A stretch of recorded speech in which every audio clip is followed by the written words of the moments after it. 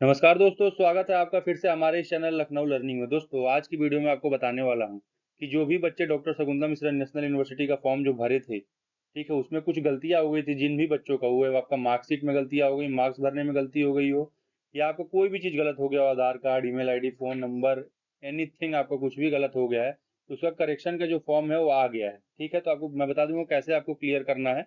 सारी जानकारी इस वीडियो के माध्यम से देने की पूरी की पूरी कोशिश करूँगा। तो दोस्तों, अभी तक आपने चैनल को सब्सक्राइब नहीं किया है तो चैनल को ज़रूर सब्सक्राइब कर लीजिए ताकि छोटी से छोटी अपडेट इस कॉलेज से रिलेटेड, यूनिवर्सिटी से रिलेटेड आपको जल्द से जल्द मिलती रहे। चलिए, आपको हम बताते हैं। जैसे कि आप सबको सबसे पहले वेबसाइट पे आना है।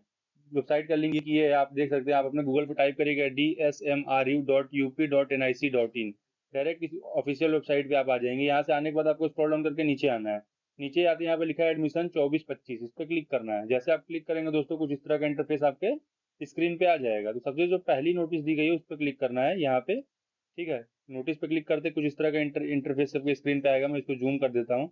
यहाँ पे लिखा लिखा गया है दोस्तों कि विश्वविद्यालय में शैक्षिक सत्र चौबीस पच्चीस में B A B com B com L L B B B A B tech B tech lateral entry B P U B S C C S I T उसके बाद पी डी सी डी उसके बाद D pharma B pharma B tech honours कोई भी पाठ्यक्रम जितने यहाँ पे दिए गए हैं कि में आवेदन करने वाले अभ्यर्थियों हेतु अंक प्रमाण पत्र मूल निवास एवं जाति आदि से संबंधित अपडेट करने के लिए दिनांक 15 सात 2024 से दिनांक 16 सात 2024 तक ऑनलाइन पोर्टल खोल दिया जाएगा। ठीक है दोस्तों इसका मतलब ये इस नोटिस का मतलब कि जो भी बच्चे इसमें अपना फॉर्म भरे हैं, उनमें अगर कोई त्रुटि रह गई है कोई मिस्टेक से गलती हो गई है किसी भी चीज़ की तो आप पंद्रह तारीख से लेकर सोलह तारीख के बीच में आप ऑनलाइन पोर्टल पे जाके फॉर्म को सही कर लीजिएगा। अन्यथा इसके बाद इसमें आपका ना करेक्शन का टाइम आएगा, ना करेक्शन होगा तो आपका जो फॉर्म होगा वो गलत हो जाएगा। जिन बच्चों ने अभी तक अपना मार्कशीट वगैरह भी नहीं अपलोड किया होगा या गलत मार्कशीट अपलोड कर दिए हैं तो उनको भी अपना अपडेट करने का पंद्रह से सोलह तारीख के बीच में टाइम मिल गया है।